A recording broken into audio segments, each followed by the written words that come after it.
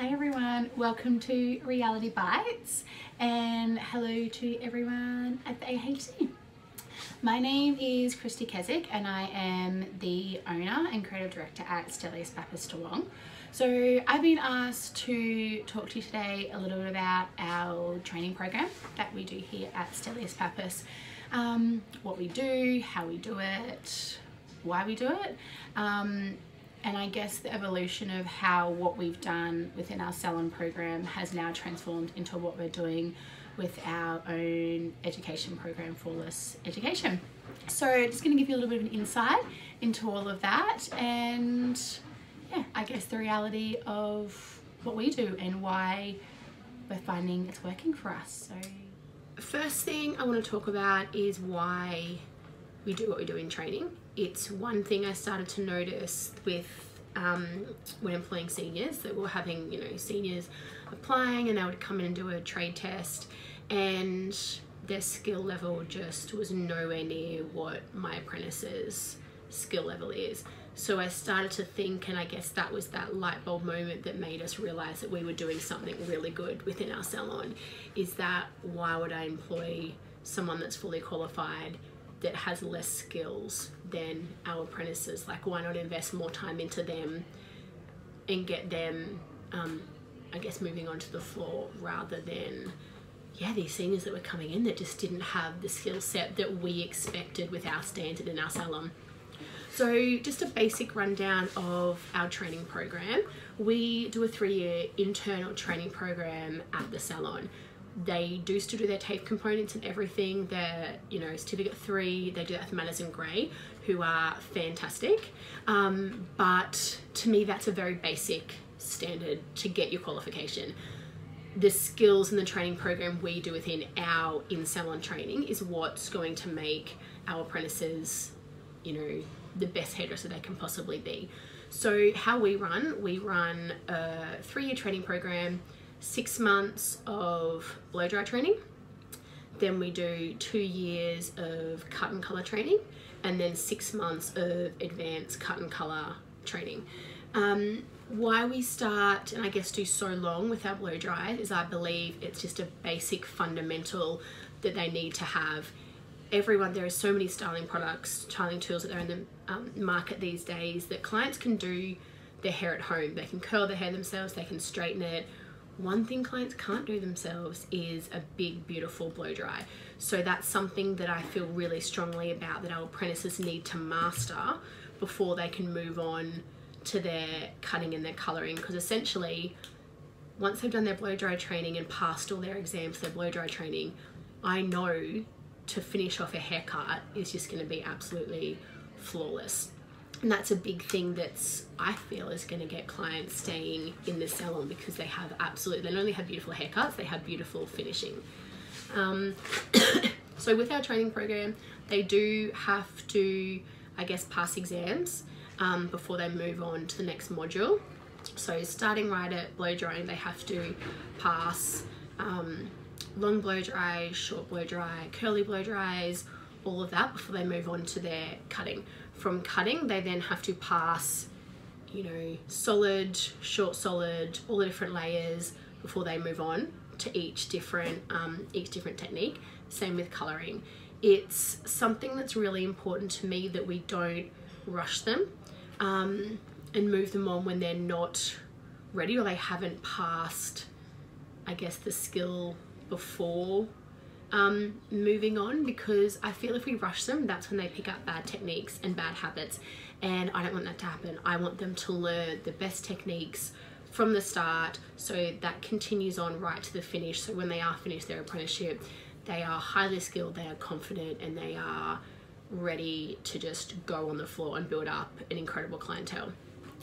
Um, one thing I guess that I've been asked is what happens if those apprentices aren't reaching those benchmarks in their training.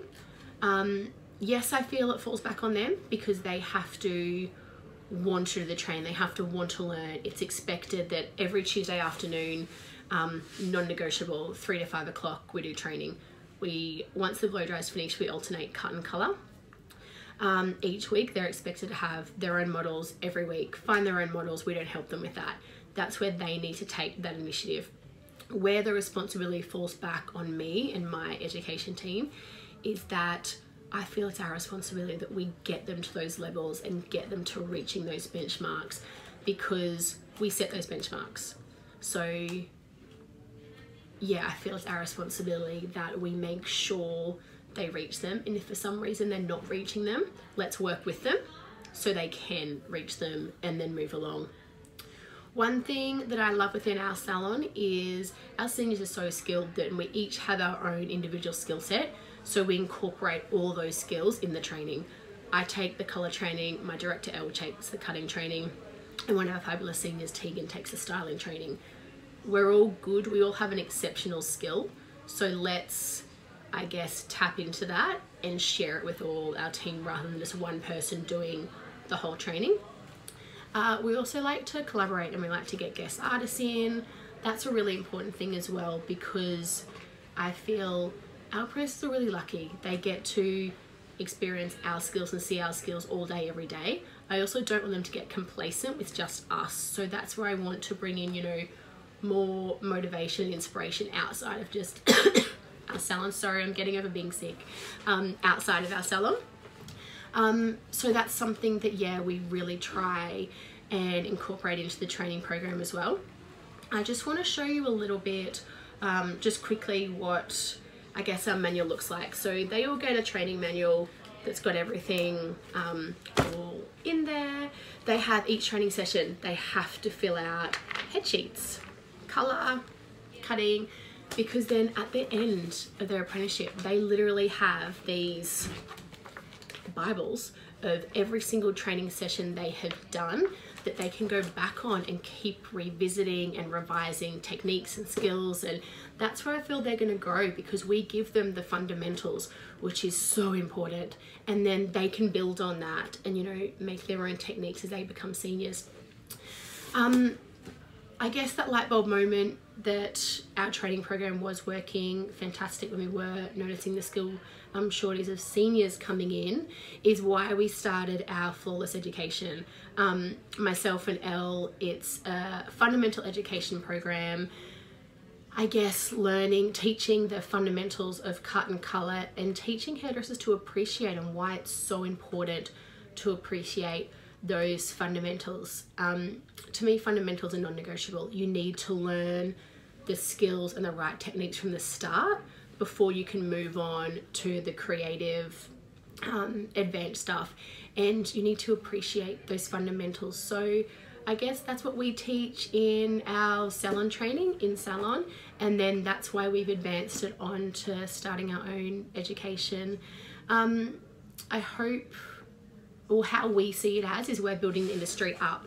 We're making amazing hairdressers with amazing techniques and it's something that we're really really proud of. And I guess we're very lucky that we can share this with our industry but I'm a big big believer in let's all collaborate let's work together. If you've got a skill share it. Let's make the industry great and make the industry strong when it comes to skill set again. So you know we don't have this problem of oh my god I don't have a senior that's good enough it's yes, let's create them from within our salon and grow from within. But the reality is, hairdressers come and go. And no matter how good you treat them, people want change. So if we're putting strong skill sets out there, I can only hope that we're going to get strong skill sets back when we are looking um, for those new seniors and everything to join our team. So it is something, yes, we are very passionate about. I could literally talk about this all day because it's education training program is something I so strongly believe in. Um, but I believe that all for now and thank you for AHC for asking me to um, talk about this today and I hope you guys all got a little something or a little insight about the training program that we have at Stelios Papas Toowong and our flawless um, education. So thank you and see you later guys. Bye.